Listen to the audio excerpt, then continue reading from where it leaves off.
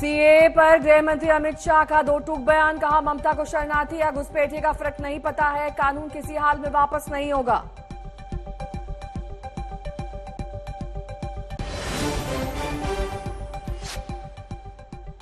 CA पर केजरीवाल के बयान से भड़का आक्रोश, घर के बाहर हिंदू शरणार्थियों का प्रदर्शन एक दिन पहले कहा था, आने से बढ़ेंगे दंगे वारदात।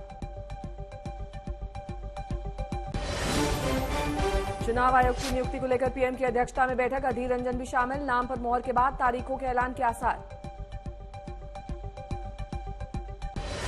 एक देश एक चुनाव पर कोविड कमेटी ने राष्ट्रपति को सौंपी रिपोर्ट 18,000 पन्ने और आठ खंड में सिफारिशों का लेखा जोखा। दिल्ली के रामलीला मैदान में किसानों की महापंचायत एमएसपी गारंटी समेत कई मांगों के लिए राजधानी कूच प्रभावित इलाकों तक सुरक्षा सख्त।